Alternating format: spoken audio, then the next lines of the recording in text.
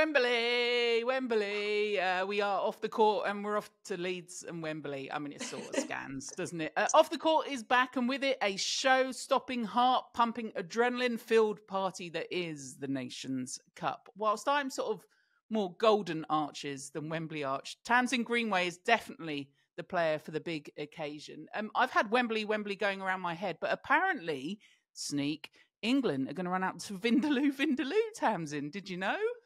I did not know. I did not know. But I honestly played in a lot of venues in my career for England. Playing at Wembley is special. It's so unique. I'm so happy we're back there.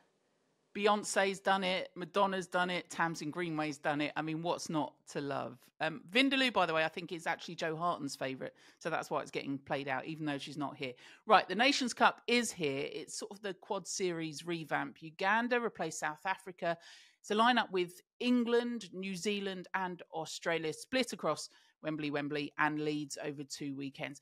Tamsin, how important is it in the, the context of the cycle that this tournament keeps going?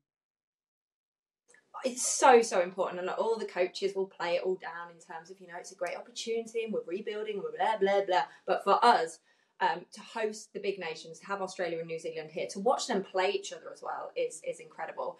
Just to see the stages that they're at, to witness some new players, um, to have Uganda in there, it feels exciting again, doesn't it? Um, you know, if you think about when South Africa entered this competition, we've had Jamaica in here before at times. It, to have to have Uganda being given an opportunity after their incredible Commonwealth Games and World Cup, finishing fifth um, last summer and, and almost sort of that development of those lower nations below because it's important getting exposure. The Nations Cup, Quad Series, call it whatever you want, is one of the most exciting parts of the netball calendar. I'm going to call it Nations Cup because that's what it is from here on in. we As probably should. are you. Oh, we're going to love it. It'll be trending at some point. We're going to hear from Courtney Bruce, Grace Nweke, Haniisha Muhammed. They're all coming up on the show. But let's start with England then. From back to front. Three players to offer you up. I went and spoke to them all at Bisham Abbey. Beautiful place, wonderful location, and star players. Let's hear from Razia Quashie, Amy Carter, and one Helen Housby. I think we've got such a nice depth in this team at the moment. Like, you know, Fran can go back at keeper. I'm not coming out of goal defence though. I could probably do it for like a quarter, but I probably need like two Red Bulls to get me through. Um, I'm not there yet, but you know, Tamsin, Cam, I might be there. But we've got quite a lot of depth. And I think you've got the likes of like Fumi, Jada, you know, Ellie, Imo, like defensively, that back unit is so strong and we demand the most of out, of each other. And I think recently this week, it's like defensive upped and an attack is answered. And now we're just like, no, no, no, no, we're, we're coming back at you. And I think that's, it's been quite nice to see, like, you know, when you do six, six reps or something and Sonia's like, we've got four. And you're like, yeah, we won. we won. Um, so I think we, we can definitely put up a fight and we're going to plan to put up a fight against them. I think we've had a perception that we're the underdogs in the past and now we're transforming to try and be more of the top dogs and that's a difficult shift but we've beaten all these teams that we're going to be playing in this cup in the last 12 months so we're definitely capable we're, we're up there and we just need to do it so into the start of it then this weekend. That's it. Your, your intention is to come here and beat them? Yeah 100% what means that will happen? What well, have you done that's different? Um, I would say that psychology, that culture stuff, that, that's starting to come through, changing the mindset from underdog to top dog, working through that. Um, we've obviously got Nat back in the mix, which um, she's obviously very valuable, very experienced. We've got Raz that's come back as well, and she, she's a great strength in the back. Um, and we've got everyone that was here in the last series of South Africa that's providing that strength. The quality is absolutely there, and I think you just look at Eleanor Cardwell. Um, you know, she's an absolute gun, and I think the the beauty of England netball now is that I do think we are starting to get some good depth. And even you know we've got Sasha coming in and Berri who is my mini me essentially. Um, yeah I do think the quality is absolutely there. And there are girls waiting in the wings as well who aren't in this squad um, that are ready to play. So I love the fact that we're evolving and it's not just a seven who I think historically sometimes we just had a seven who could just about you know stay up with New Zealand and Australia. And I think now we've got girls who can come on and make an impact and yeah to kind of be on the flip side of not being the young one in the squad and being one of the older leaders um, it does feel quite rewarding to see these girls have the mentality that they expect us to win against New Zealand and against Australia. Uh, Jo Harten actually said something interesting that the girls told me about. Um, I think it was in the New Zealand series. After they'd lost the second game, it was they were straight away like on the video, like what do we need to do? Like how do we change this? And she reflected that when she was kind of coming into it, um, if they stayed within 20 of New Zealand, they would be celebrating after a game and it would be completely different, the mindset. So I think now we've got that mindset of we expect to win every single time, whether it's Australia, New Zealand, doesn't matter who it is. I think that has definitely changed in England netball um, compared to, you know, 20 years ago where you were lucky if you stayed within 20. Um, and it's been really cool to kind of live that journey and see different players be part of it. Right, brilliant to hear from the England team this week. And we're going to talk quality then from, from the back to the front, Tamsin. But just briefly, there seems to be like a, a, a mind shift set. And I think this is this has happened over Jess Thirlby's time. They were all talking now and maybe consciously wanting to get that message out about winning, about going for gold, about being competitive.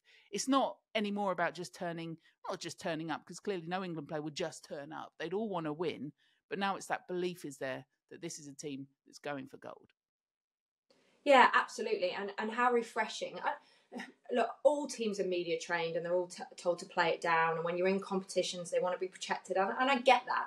But what I'm loving about this new group is that there's players come in that have watched success. You know, you have to remember that's a really um, incredible opportunity for some of these players. Years before, we watched teams getting beaten 20, 30 goals. So you come in hoping that you could do it, but you're never quite sure. And they're consistently now at the top. They've had the best ever World Cup finish, making a World Cup final, getting a silver medal.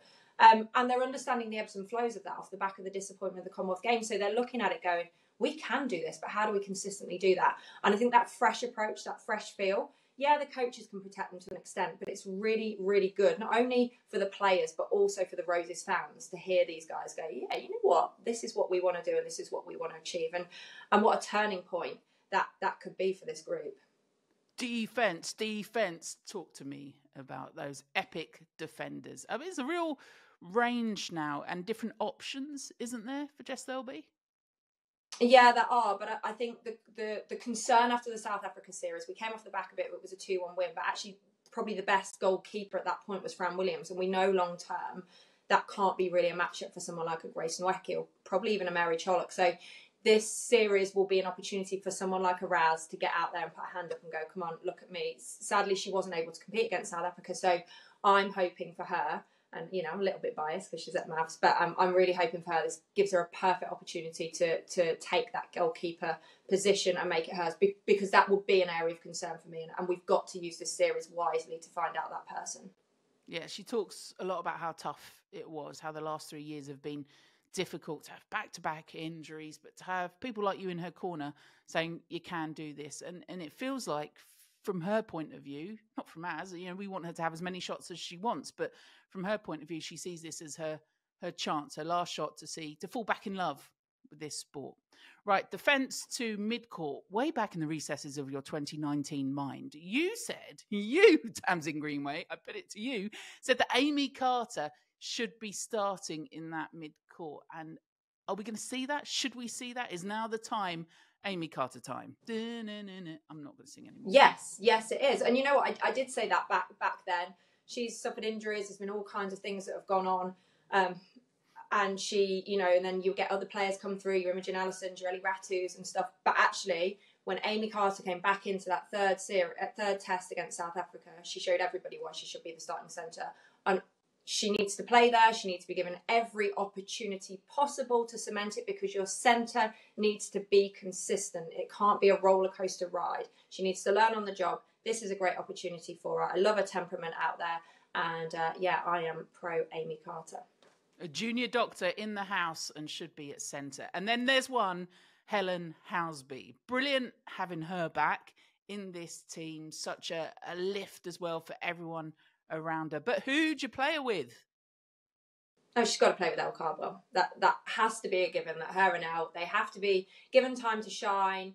Um, open up that circle, that rotating circle, either position, switching and changing around. I, I think this series needs to be taken advantage of. We're at home, we're at Wembley, we're going to be playing in Leeds, uh, we're going to be live on the telly. Like make the most of it. Come on, get some momentum, get some fan base on board, play your stars, play them well. And if you know if you want any bigger opportunity, Helen Housby is back in England. Use and abuse her, get her out on that court and show everybody just how quality she is we're going to talk more about Cardwell a little bit later because there's an intriguing battle going to happen on court. When I say intriguing, it is bloody and it's going to involve Australia. Right, we're going to talk New Zealand first, though, because do you remember one Tamsin Greenway, the furore over the young England squad that went to New Zealand? How can you make so many changes? How can you bring these young players through? All those without caps. Not my words, just some of the sprinklings of social media. Well, from social media to the reaction to the New Zealand squad, it's a very different Silver Ferns side we'll see in the in the UK.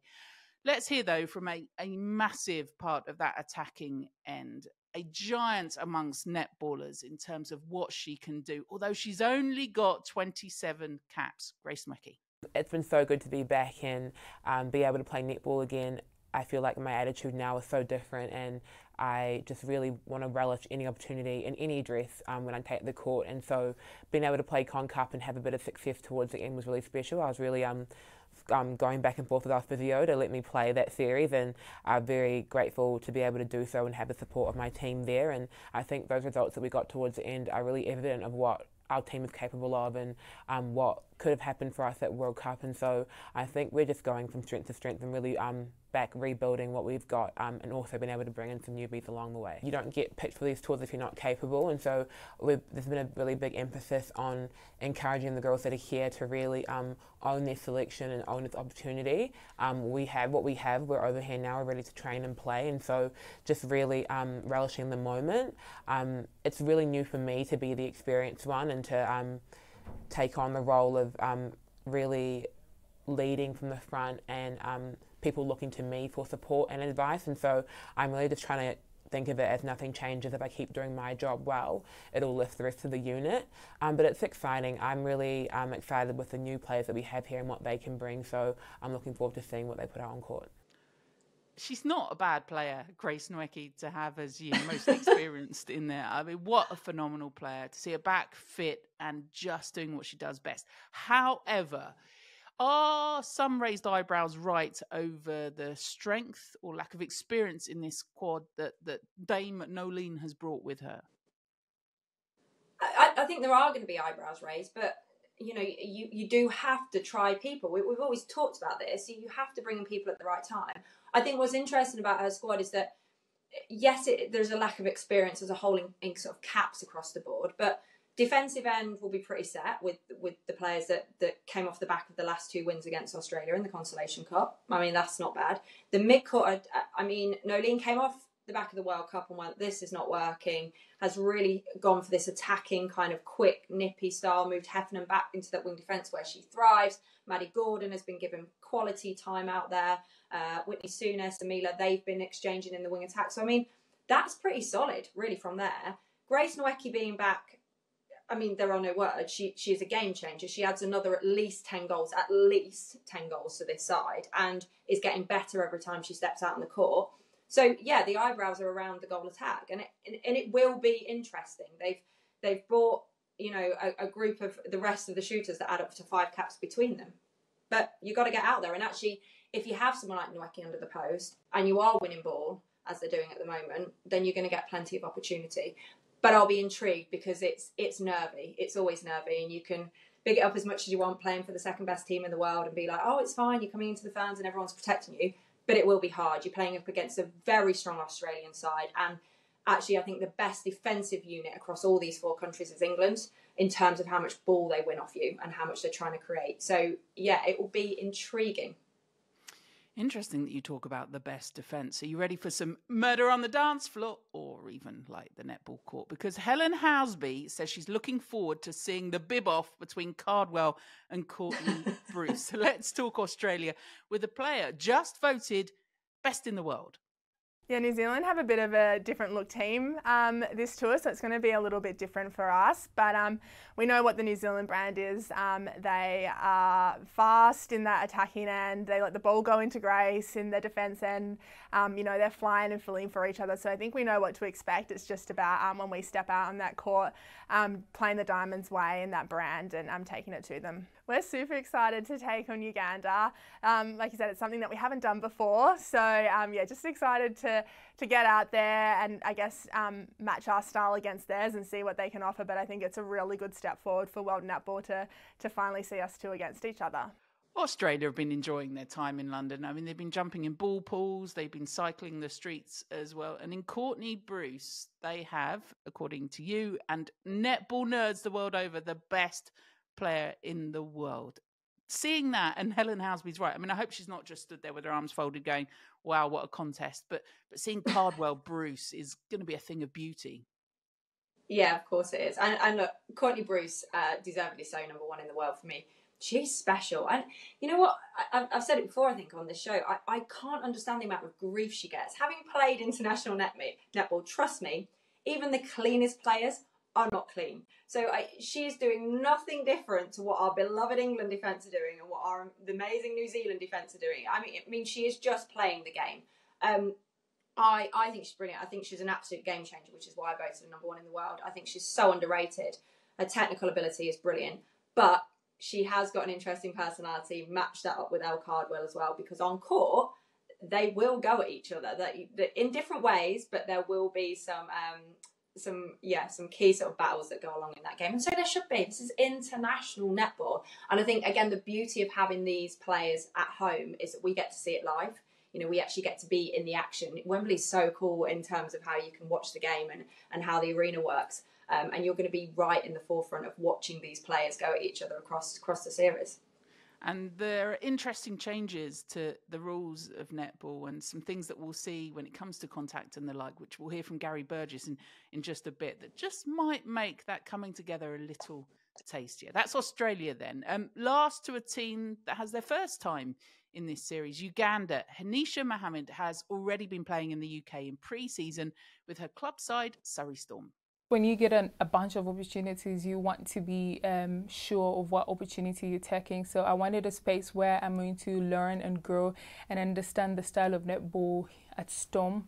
And I think Storm is giving me that, and I'm excited to be at Storm. It's a great place to be, honestly. And I'm looking forward to playing for Storm uh, for the rest of the season and uh, probably you know, win the championship. The goals are really excited for this particular tournament. Um, we're here for the very first time. Being regarded the giants of netball, uh, to be among the giants of netball, I think. Um, excited to be here and I'm looking forward to, to the games. We loved having South Africa part of the quad series, but to see Uganda into the Nations Cup, Tamsin, it's the world of netball needs to see these teams exposure for the teams as well, but some brilliant players within this team. Yeah, and, and don't underestimate. I, I, you know, I, I truly believe it's the way it needs to happen. You need to get exposure against the top teams, but you know, Uganda aren't just a rollover. The the teams below those five to twelve are really catching up um, consistently, and the only way they get better is to have opportunities against all the big guns. So this this is a great chance for them even learning how to back up so many key games against the tough nations as well. You know, there is no rest, there is no hiding in this series whatsoever.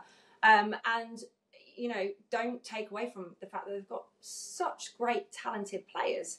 You know, talked about the defensive end, but down the other end, all the English fans know too well Mary Cholhok. Like, you know, she is not someone to be messed with, and also how differently she plays the game when she plays for Uganda. You're going to see her out the circle. I remember used to speak to Sarah about this, and she'd be like, "I love Loughborough." We used to try and keep her in the circle. She'd go home to Uganda and they've got a plane all out everywhere. We'd be like, Mary, under the post. and, I, and I just love that. But you start to see all the different styles. And actually, it's a real challenge tactically for all the coaches to go, right, how do we, how do we work this out? And actually, it's a massive learning chance for, for Uganda as well, because I think sometimes tactically, they don't always nail it against the top teams. They continue with their style, and, and you have to adjust. You absolutely have to adjust. So I, I want to see sort of their movement throughout this series to go, right, this is how we deal with Nweke, this is how we deal with Bruce, this is how we deal with Raz, you know, what does that look like? You know, my favourite thing in life is to stitch you up. So give me your four to one in terms of order for the teams? Four to one. You, Uganda will finish fourth. Right. Um, New Zealand third. hmm I mean, am I going to get shot? I can't see Australia losing this series. They've come so strong. But but I mean, but can you see so England big. winning it? You can't see Australia losing it, but can you see England I can't see Australia winning it? England have got an opportunity. They've got an opportunity. They have. Australia have come big guns. So it it it will be interesting. I sort of stitched you up, but then backed you up and then took it away from Oh you. yeah, you know I don't mind. I trust me. I'll be running round the arenas if England win this. It'll be absolutely brilliant, and it will send such a strong message. But Australia have come strong. Right, one final component the umpires. And new rules.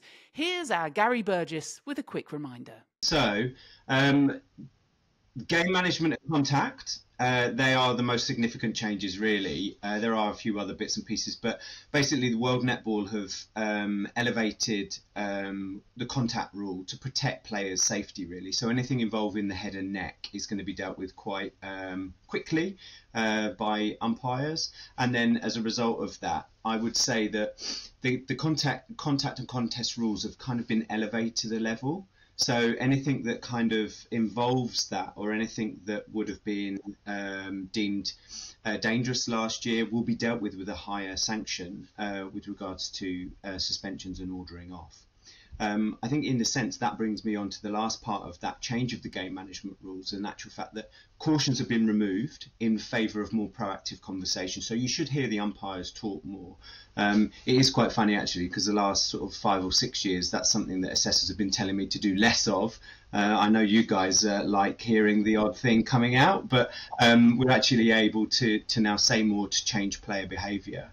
Um, so cautions out, proactive uh, advice in, and then the last bit of that game management change is that a player that's ordered off, so it's effectively a red card in netball. You go back to your bench. They can actually be replaced after four minutes. So if there is that higher sanction, it doesn't actually kill the game for the players and the coaches. It does mean that there's a recycle in that sense. So that's contact and game management changes.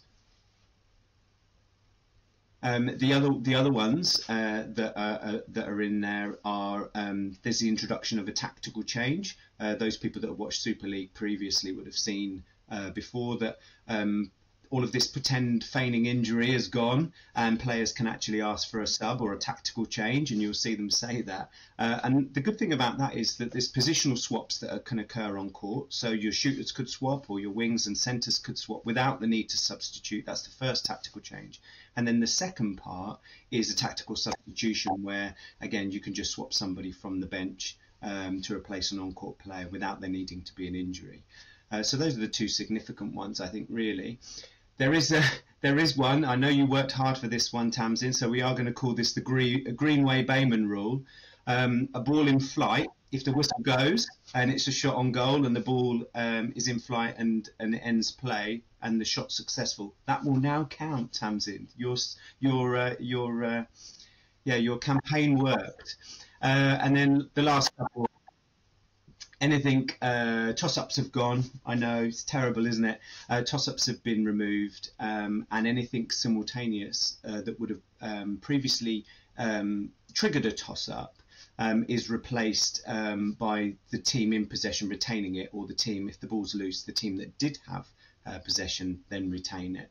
Um, now, one of the ones that, uh, that the last couple that have changed, there's been a change to the short pass. Now, all of those other rules are are, are there uh, for the four-year cycle. The short pass has changed, but World Netball have actually said that it's only going to be reviewed after a year because they're still not happy with um, basically how that rule is uh, interpreted or how it's written at the moment. So basically, the there is a return back to the distance um, of a pass being travelled. So it's it, you know there is an, uh, a hand, the distance between a hand, which is attached to an arm, which is attached to the body. That's what the rule says.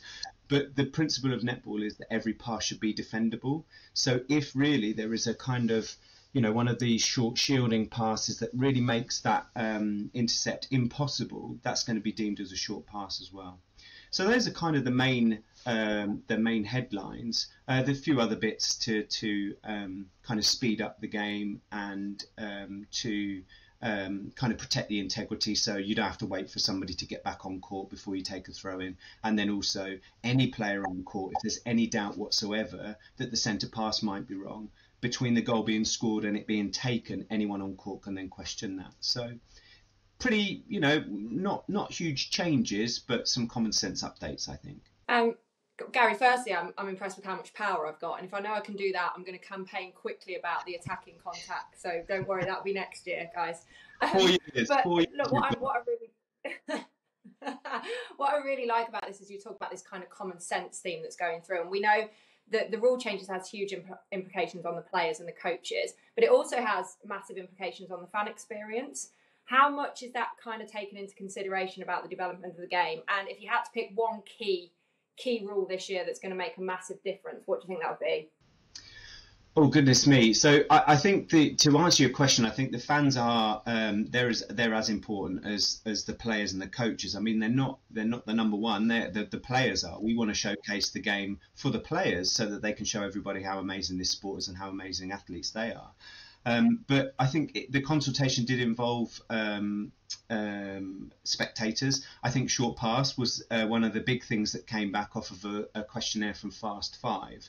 Um, but I just think this whole, uh, for me, I think this whole idea of tactical changes. I know some people ask for rolling subs, but the, it, a rolling sub in itself is not an umpired experience. So and there will be some people that say that it doesn't need to be, but I think just the whole speed, um, the planned nature of that tactical change will just speed it all up. Um, and and and the fact that it is umpired under a tactical change means that you don't have to worry about players running into an umpire's path and being penalised, or too many players on court, and all of that sort of stuff. So it is still stage managed, but it will be a, a huge amount quicker than previously. And Gary, just finally worth adding that this won't come in domestically until September. And if people want to find out more about all the rules, where do they go?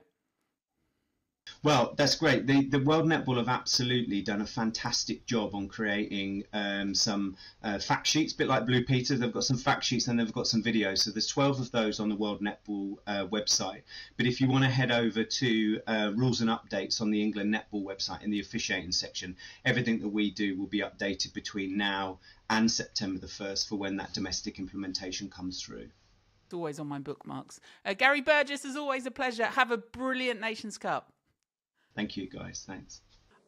I mean, I don't know about you, Tamsin, but I have that page bookmarked all the time. There's nothing I like to do overnight than read through the rules and regulations. But actually, you were right in what you said. It sounds sensible, doesn't it? It does. I mean, Gary Burgess is the only person in the world that can make rules sound great. but you know, you know what? And, and, and I meant that about. I, I understand that the game is always changing and evolving for the players and coaches, but this whole experience of the game. You know, as we're, we're trying to commercialize the sport, we're trying to engage new fans into there. It's so nice and so refreshing to to realize we are trying to make the game a better experience and and stuff that's going to speed up the game. So you know, we joke about that shot, but they're the bits that get the crowd buzzing, the people talking. You know, the last gasp when you've got someone like El Cardwell on your team. You, play for those moments that you know in the hands with three seconds to go, she's just going to turn and launch it at the post. So um, yeah, I'm, I'm really pleased, and, and I think it's a real step in the right direction. Because to be fair, umpires have been getting a hard time, haven't they? Probably in the last couple of years with how the games the games changed and sped up, but perhaps we haven't all moved with it. And I, I think this is a brilliant step in the right direction. What he misunderstood is the actual Greenway Bayman rule is that when it leaves your hands, even if it's not going anywhere near, it's a goal. It's a goal. I'm not saying that's your shooting ability. Right, that's it from us on this preview to the Nations Cup. Of course, you can watch it all across Sky Sports. A Sky Sports Arena for that first match, Australia and New Zealand, build up from 2.30 with Tamsin Dye and the team England Uganda at 5.15. But we're going to leave you with some new stars of the game as the players get the chance to go off the court. Bye for now. So you're, you're sort of getting into the action like you're riding a horse. There's Amy Carter down there, does a flying intercept, and the commentator says, Amy Carter, get an intercept like a rabid dog. Amy Carter, phenomenal intercept. She looks like a rabid dog, but oh, has she got the bone? Something like that. That's great. She's done it! England have done it! Oh my god! Like I love the like manic hysteria. Like that just sums up the moment. And that was exact. I think if you could listen to my brain when I was running around on the court, that's exactly how it would sound. So I think you did a great job in that moment, and I'd probably do it very similarly. Final seconds, dying seconds of this one. Australia are up defensively underneath Helen Housby. She's there at the post. Helen Housby, MBE! Sky Sports. Feel it all.